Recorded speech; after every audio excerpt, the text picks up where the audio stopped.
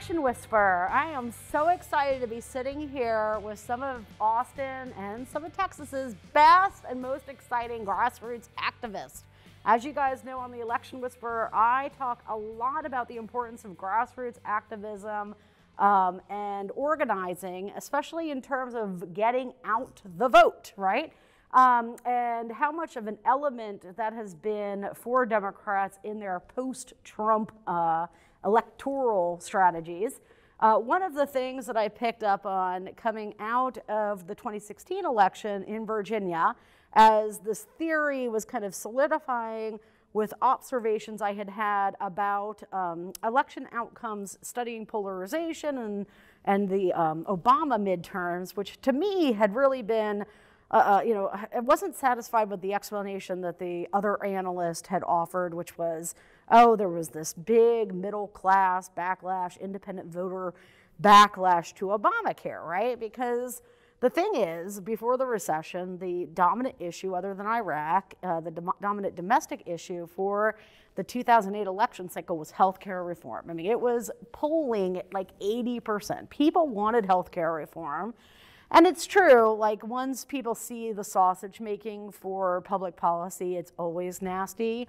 And the Republican Party is really adept at exploiting the sausage making for public opinion. So they really were good at the like the um, you know messaging components of that.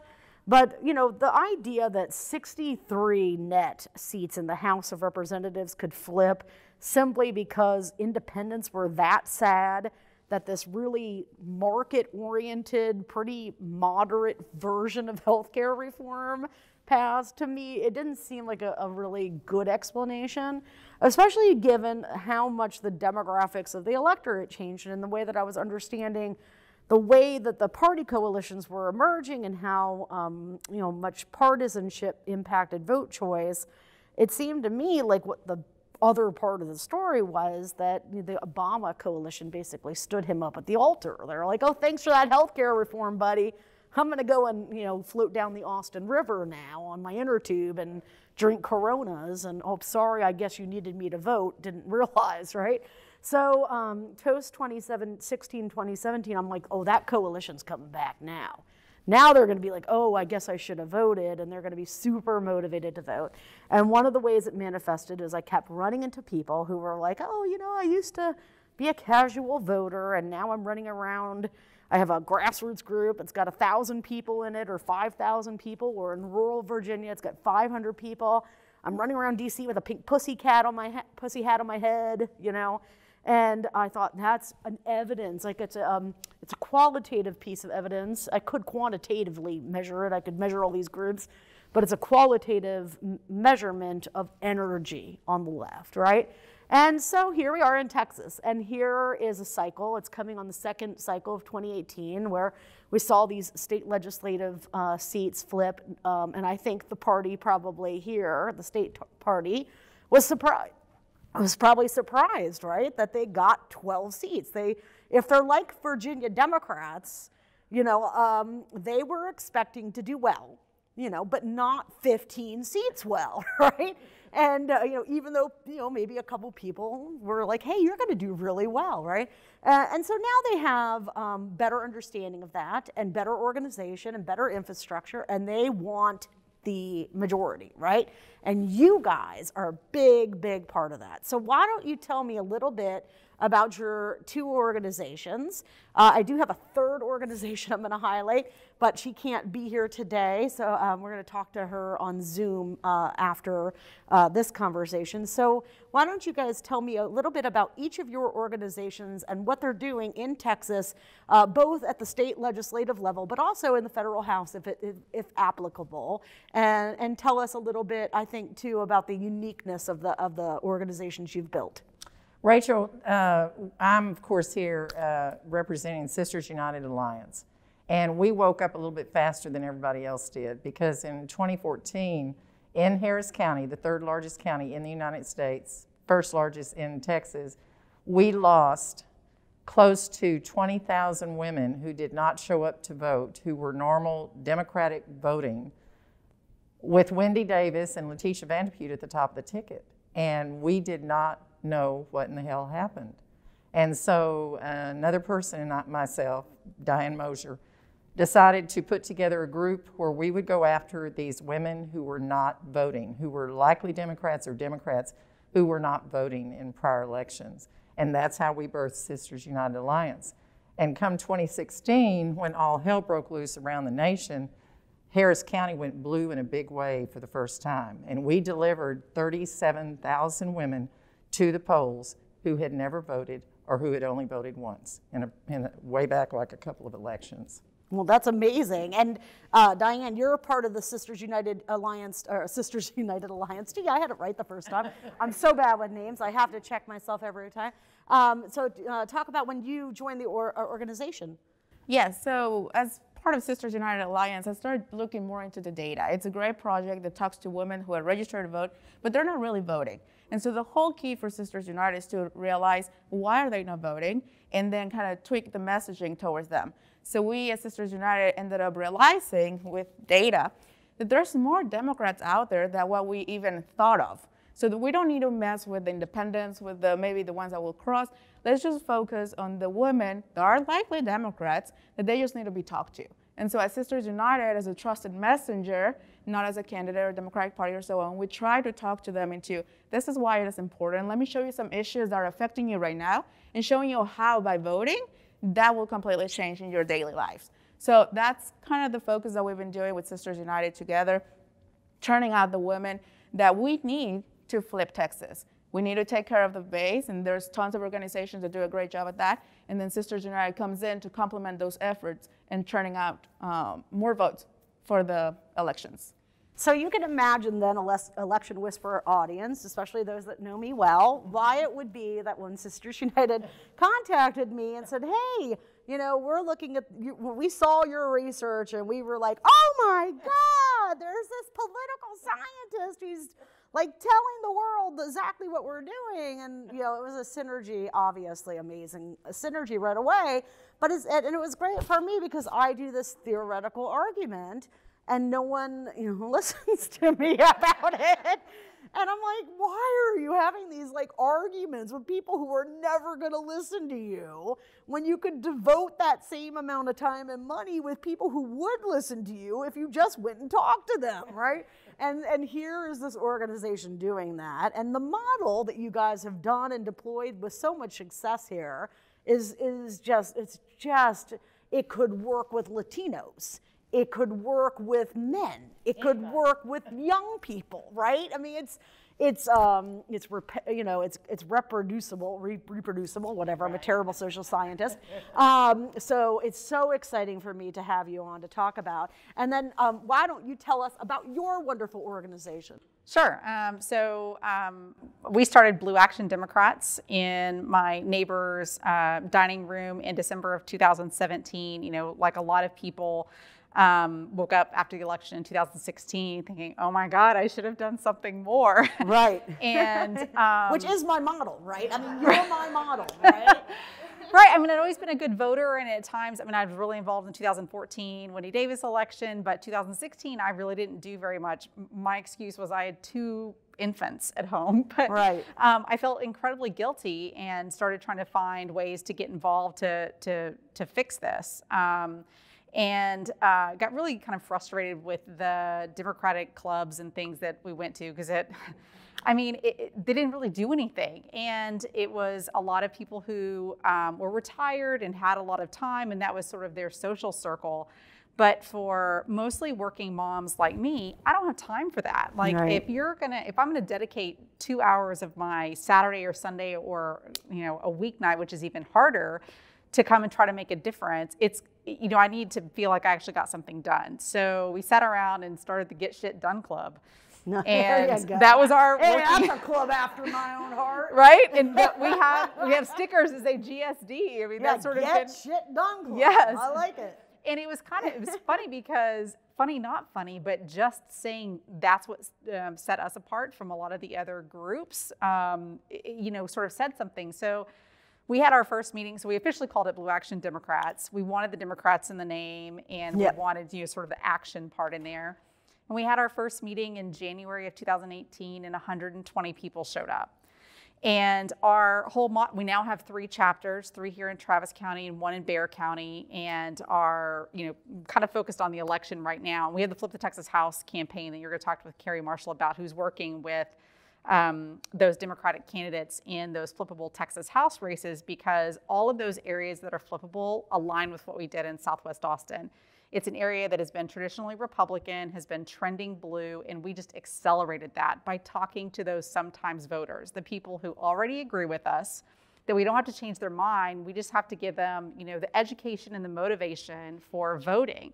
And especially, I mean, I 100% believe our I, sort of same thing, like working theory, seeing that kind of um, bear out in 2018. Our working theory was if we could just get those sometimes voters to show up, then we can win because the you know it's not a red state, it's not blue state. This is a non-voting state. Right. And if we can fix that, then then we'll do it. Like if we're getting 80, 90% turnout and we're still losing, then we've got some pers- persuasion work. But for now, I've never seen that that, that has not been our, um, our you know, reason for doing things. And the other benefit of talking, of targeting those people who already agree with us, especially in suburbia, is that the number one thing that we hear at the doors is I'm the only one, like whispered usually, Yeah, you know, yeah, yeah. I'm the only Democrat in my neighborhood. I'm- And we can, there's power in numbers. And, you know, I think the path to flipping Texas runs through suburbia.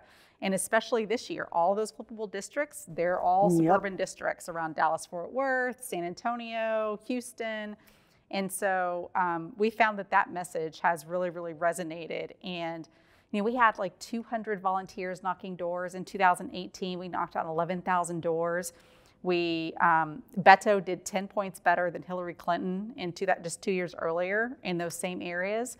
So it's um, it's been the only thing that's kept me sane for the past three years. Um, is and I'm sure you guys have felt the same. Is just being active um, and you know doing something in our own neighborhoods has been very rewarding, and we've seen the change. We flipped one of those 12 um, house districts in 2018, and so we need to protect that one. And now we're aiming for some congressional um, races along with the other, you know, 17 under 10 project.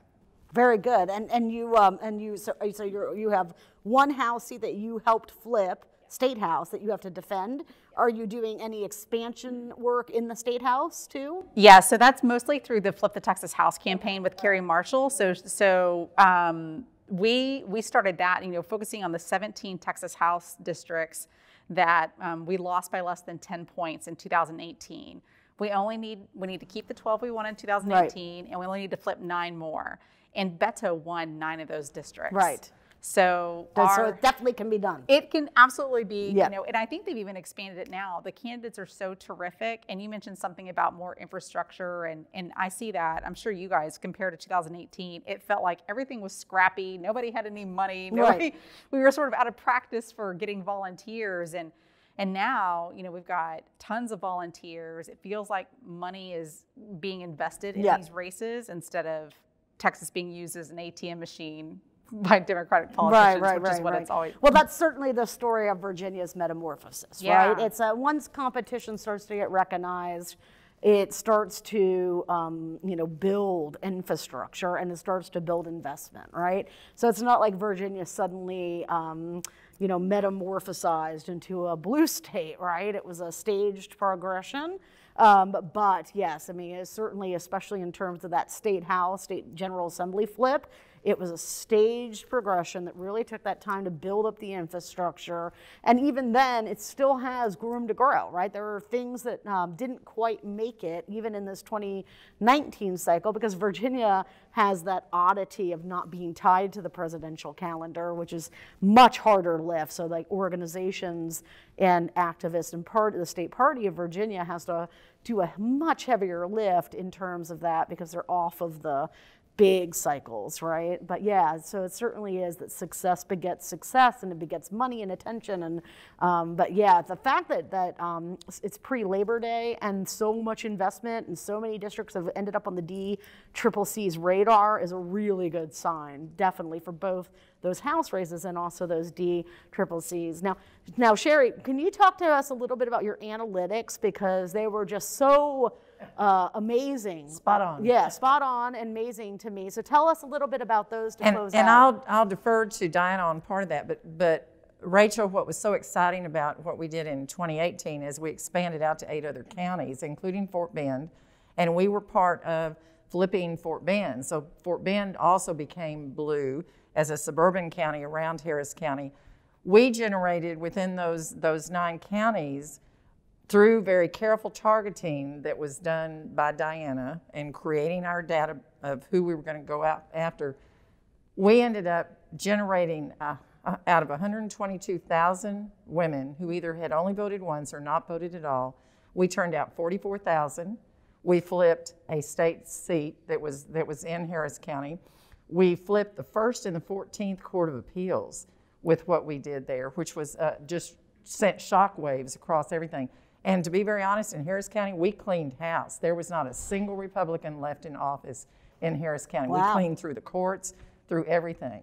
And we are doing the same thing and planning this, and we're overlaying on 13 counties in Texas what Diana's going to tell you about. And in that are those 17 House districts, or several of the Court of Appeals, all of this together in moving forward with this. So and I love it because it's happening with women, right? This Exactly. All women.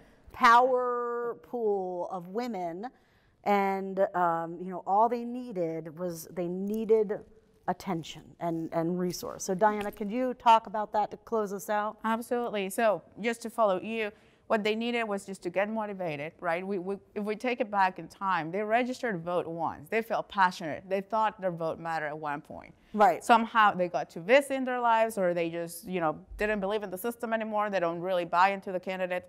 So it's all about just getting them, motivated them, and educate them through the whole process of election. When is election? How do I go vote? You know, where do I go vote? The tiny little basic things that really will show people, okay, I got to make a plan. I got to go there Tuesday, or so on. So the women that we're talking to are this woman, and what we try to look into was the women that were likely Democrats, but we started drilling and drilling more into the analytics behind the scenes because obviously, since there's not much data with these women, because there's no, you know, they're not good voters, we got to drill into different score systems that we have in our voter file, let's call it. And so we started looking at the women that would really uh, respond to an organization like us, Sisters United Alliance, the women that really need to hear from us and not maybe from others. And then the key to, to Sisters United also is that we talk to them from each from every angle. We talk to them through phones, mailers, digital, texting, everything that you can imagine. Because if only if it takes you about let's say six, you know, seven times to turn out a good voter, imagine how much it takes you to turn out a non-voter. Right. So Sisters United really only focuses on this woman. And through the data analytics that we do, we make sure that this woman will be the one that will be talked to and then turned out to vote. And so that's what we're doing this time around in the 13 counties. We have like about 600,000 women that we're targeting. Wow. And th- let me put this in perspective also. Texas has about 2 million women that have never voted since they registered vote. Over 1 million of them are likely Democrats, are the type of Democrats that we as Sisters United would vote, will, will turn out, or we will talk to. So we have tons of women that we can talk to. All we got to do is spend some resources, some time, and also the right messaging. You have to have the right message to be able to motivate this woman to turn out. And so that's what Sisters United did. And so through all the, the analytics and the messaging that we do this 2020, we'll be targeting the 13 counties. All the flippable seats are going to be in those counties.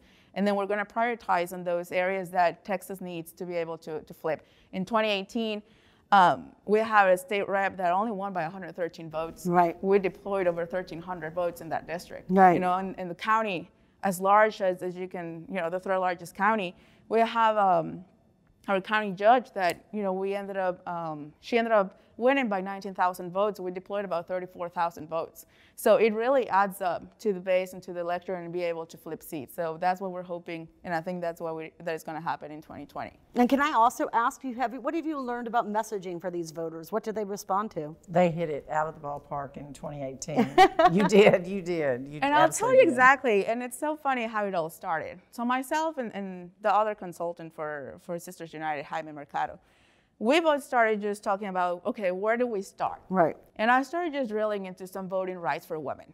And so I started, to be honest with you, I started reading and paying more attention to the timeline of things. And I started realizing, oh my God, it hasn't really been that long. You know, and I'm and I'm gonna say I take things for granted, right? It's the younger generation, immigrants, so on. You Right. don't really realize that it really hasn't been that long since your mother, your grandmother Right. were fighting for things. Oh, yes. So that kind of research uh, put it in perspective for me. And I was just having this conversation with Jaime, and I was just getting so passionate and angry about like how come my mom Yes. couldn't get a credit card? You know, they had Yes. to have a co-sign it. Yes. How come we had women in Congress, you know, even um, um, elected, and not being able to get their own credit card on their Mm-hmm. own? So with that, Jaime said, Diana, this is the conversation that we need to start at everybody's homes. Yes. And so we started with that. So our messaging was very basic in the way uh, at the beginning, where it was let's remind them of where we've been. Let's remind them that it hasn't been that long, and let's make sure that they can see it the way that I saw it. As of my mother went through that, my sister went through that. Now we're still fighting, so it is our turn to kind of turn out, you Yeah. know, to turn out to vote. And so we picked that type of messaging just to kind of move them. We picked another messaging, you know, with the issues that were, you know, affecting them on a daily basis. Back then, also a, a major issue was the separation of families with the Trump administration. So, which woman, you know, Yeah. will be for it? So we pick issues like that, and then of course it was a whole push about it is your turn to make things different, and you have a voice because of your mother, your grandmother. So use it. And one of the the things that I love the most, and I'm a data-driven person. The whole project is data-driven, and we are all about numbers. And obviously, our numbers show that Sisters United really works. But what really moved me, we got a little email from this lady that was in our targets. She went out of her way to reach out to Sherrie She found my, my email on the website. and told her, "Your mailer made me very sad. I never vote. Where do I go?" Oh, that's Oh, great. that's awesome. I love it. That's my kind of mailer. Yeah, that's awesome. nice. So that really just moved me. I said Yes. the messaging was perfect, Yes. the timing, everything, and um, and that's really what what moves Sisters United to make sure that we're changing lives, to make sure that we're turning out these women to vote, and, and make sure we're connecting those issues with their power to vote. And emotion. There you go, right? Yes. Oh, go ahead. Yeah, you had a no, question. please. I was gonna say it's so interesting because we, um, uh, what we found is we didn't even have to talk about issues at the door. Um, it, it- what we found with people, at least in 2018, um, and we were focusing just in suburbs, so maybe it's a little bit, um, and not just on a specific demographic, but just sort of a geographic area. Yeah, yeah, yeah. Was that people just didn't think that their vote mattered. Right. And especially in Texas, where it's been a one party state for so long, and they've drawn these lines on purpose so that you know, our vote didn't matter. That um, just being able to tell people that this year it really does. Yes. Your vote will matter Yes. this year. Here's a, and and we're with you. Like this is a this is a grassroots neighbor volunteer driven organization. We were doing this for ourselves. Right, right, right. And and we found, you know, and uh, we already know that talking to people at the door, which we can't do this year, is the most effective thing. And and if you're talking to somebody where I can say, "Hi, I'm Carrie. I just live right around the corner in the neighborhood, and I want to talk to you about, you know, are you planning to vote? Are you planning to vote for Democrats up and down the ballot?" Was um, you know people are a little nicer if they think they're going to run into you at HEB. I think, um, but you know, and now we're just doing the same thing with you know texting and lit drops and phone calls to be able to to reach out to people. But um, it, it's really it's interesting to hear you talk about just specific issues because we we hadn't gotten to the point where we needed to specifically sort of message to that, and we're not as sophisticated to do that. We were just sort of scrappy talking to people at doors just to get them um, that their vote matters, which. eh, I, I think in Texas is such a novel concept. no, it is. I mean, it's so important because it's about stakes framing. So I always tell people for Democrats, what Republicans do really right, and although they take it too far and have taken it to the point where some of their voters have lost their minds, right? um, but what they but they what they get without going overboard is it's about tapping into emotion and it's about stakes, right? This election matters because this, right? This thing matters. Like if you do it, it's not um, some small minutia either, some small little thing about like defunding, you know, some aspect of the code. It has to be. It matters in an epic way. It, it matters in a personal way that's going to affect you too. Is usually how best I think to frame it. The, you know, the liberals are a little different because liberals do care more about the other than other, um, you know, ideologies. Uh, but yeah, that's great. I mean, it's just been so great to hear about how you guys, your groups evolved and what they're doing and, and how instrumental they're going to be in Texas. And I have to save time, of course, to talk to Flip the Texas House. So I'm going to do that. Before you, before yeah. you do, one more thing. The one county to look at Yeah. that has all three of these layered in, the Sisters United Alliance, the Blue Action Dems, and the Flip the Texas is in Bexar County. Okay, and Bexar, Bexar County, County- is, is, a- is there have a city? San Antonio. Bexar County is the one to look at because all three of these programs are a great punching point. all barrels That's great. on this, and that would be the one to look at. after And there the will election. be a shameless plug for money at the end of Fantastic. the after- We, we can put it to Yes. we can put it to good use. yeah, there definitely will be, but it's going to come in at the end of Carrie, right? All right, very good. Well, that's wonderful, ladies. Thank you so much. Thank, Thank you you very for the much. opportunity. Really appreciate Yeah. it.